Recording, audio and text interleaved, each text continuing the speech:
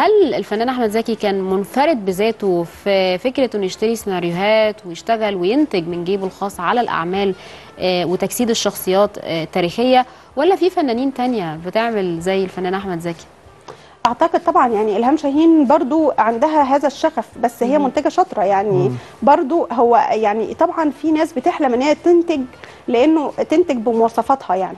يعني وبتنجح في ده. ما أحمد زكي نجح في السادات. يعني أنا عايزة يعني أسألك هو زكي من نجح كتر جداً حبه في الفن. طبعا الفيلم يعني- ده ده ده آه. فيلم آه. عظيم آه. يعني من كتر. حبه للفن ما كانش بيفكر في الخسارة المادية على قد ما كان بيفكر في قيمة العمل اللي هو ممكن يحصل عليه ويعمل لا ما كانش بيفكر فني. في الخسارة المادية. وكمان في حاجات هو اشتراها وما عملهاش أصلا.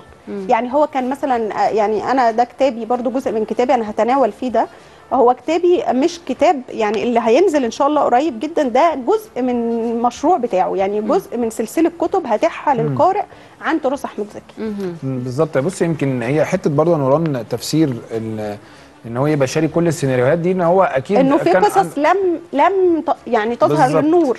يعني آه أحمد زكي وحبه أحمد زكي لل- لل- للعمل الفني مش بالظبط. مش هنقدر نقول إن هو الموضوع واخده تجاري لا, لا إحنا بنقول. إحنا بن- بنعمل يعني فن من أجل الفن يمكن. ده المدارس القديمة يعني لا على وطبعا ده. هو طبعا مدرسة خاصة في السينما المصرية طبعاً. احمد زكي بلا شك و- وكمان كان بيتعب جدا لأنه هو كان مم. ممكن يقعد ينفق من وقته شهور كاملة وربما سنوات على مشروع يعني إحنا شفنا. حليم بعد وفاة أحمد زكي يعني ما, ما كملش هو صح. حليم. لكن أحمد زكي فكرة حليم ده كان مشروع من سنة 96 وتعاقب عليه مخرجين ومؤلفين وأوراق.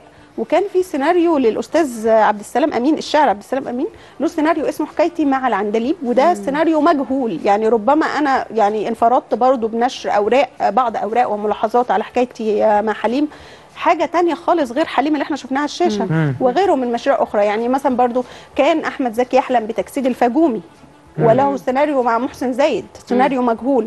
فأنا بسعى بقى إن إحنا نطلع ده للنور إنه بحيث إنه يفيد المتخصصين في السينما ويفيد كمان الناس اللي عندها شغف بالسينما من الجمهور العادي. كمان هو تلقيه أكتر من سيناريو في قصة واحدة دي حاجة عظيمة جدا. ده كمان مش كده بس. آه. أحمد زكي كمان كان بيبني روح الشخصية بشكل جديد.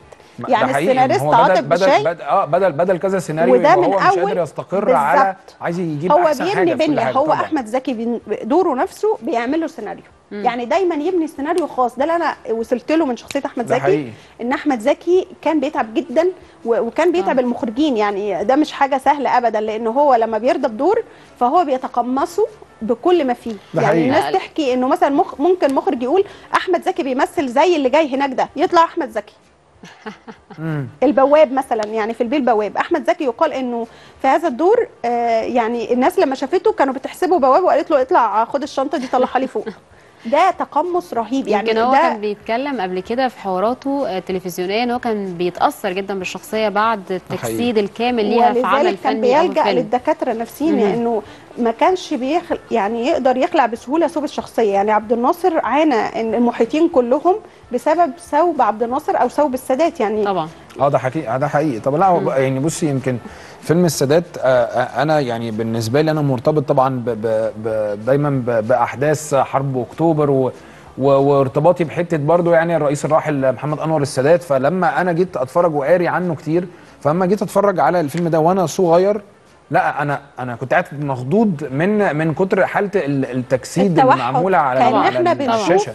آه بنشوف الرئيس السادات. أنا نفسي بعد بعد ما بقيت أشتغل على قصة أحمد زكي غير مفهومي عن الحياة. يعني مم. بقيت أرجع لكتب السادات. يعني مثلا لما أشوف فيلم السادات أنا أرجع لكتاب البحث عن الذات وأرجع للأوراق. لأن أحمد زكي كان بينه وبين السيدة جان السادات آه يعني حوارات وبينه وبينه موافقات وتعب جدا الفيلم ده من أجل إن هو يطلع السادات بالشكل ده.